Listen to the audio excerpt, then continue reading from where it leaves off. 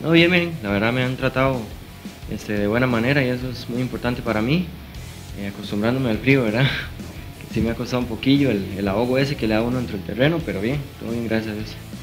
Que es, bonito, ¿verdad? Que, sigan contando con uno, pero igual eso no me garantiza nada, creo que, tengo que trabajar más fuerte que los demás, porque mm, a pesar de que él me conoce, eh, uno no, siempre eh, va a ser así como el agrado de otras personas, pero hay que darle, ¿verdad? Creo que, que lo importante es sumar, sumar al grupo, a los compañeros y a la institución, independientemente que él ya me haya conocido del tiempo atrás.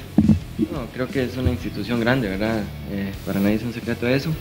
Y me contaron que trabajaba muy bien, que, que, llevan tiempo en eso y esperemos ahora se nos dé los objetivos que, que nos planteemos.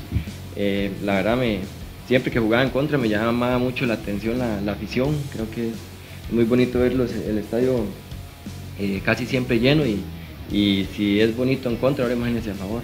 Creo que fundamental va a ser la unión de grupo, que hay veces en el torneo se dan momentos buenos, momentos difíciles, pero creo que como lo enfrentemos y, la mentalidad que tengamos para salir de esos momentos va a ser fundamental para ir creciendo eh, como grupo y, y seguir paso a paso, ¿verdad?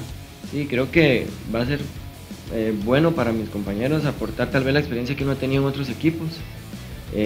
muchas veces soy de, intentar, no corregir, sino decirle tal vez, o que me digan a mí también me gusta, que eh, siento que estás fallando en esto, no sé, para corregir. Creo que ir corrigiendo en torneo regular las cosas que uno hace mal va a ser fundamental y ayudarle a mis compañeros en eso también va a ser eh, pieza clave, pienso yo.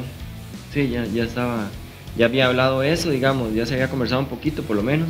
Sí les había dicho que, me dieran un poquito de chance, ya que estaba en la fase final con el, equipo Cobán. Eh, después de ahí ellos se me arrimaron a decirme, pero al final no, eh, no llegamos a un acuerdo, no, porque tuvieron también bastante tiempo para decirme, no me habían tomado en cuenta, creo. Y como se fue campeón, ya ahí sí me dijeron, entonces, no sé, ya, ya había dado mi palabra aquí, creo que mi palabra vale. Al igual que cuando salí de Guasta, había dado mi palabra en, en Cobán y siempre respeté eso, ¿verdad? Sí, no, la verdad que con, bueno, en, en sí jugué bastante, ahí, ahí fuimos campeones tres veces. El, creo que en Cobán el primer torneo sí jugué bastante con Vini, el cambio entrenador, vino el, el profe, el mexicano. Y ahí sí me costó un poquito más, pero y siento que son roles, ¿verdad? Que uno tiene que saber llevar dentro de los equipos.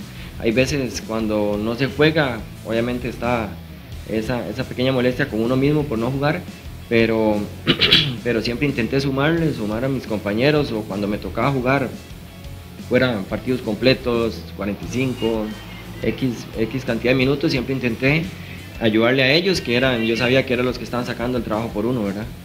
Eh, bueno, soy de Pérez Celedón, em, ahí me, en ligas menores de, Pedregoso, equipos de ahí fui, luego pasé al Pérez la, de ahí luego pasé a la UCR, bueno, eh, ascendí con un equipo que se llama Generaleña en ese momento.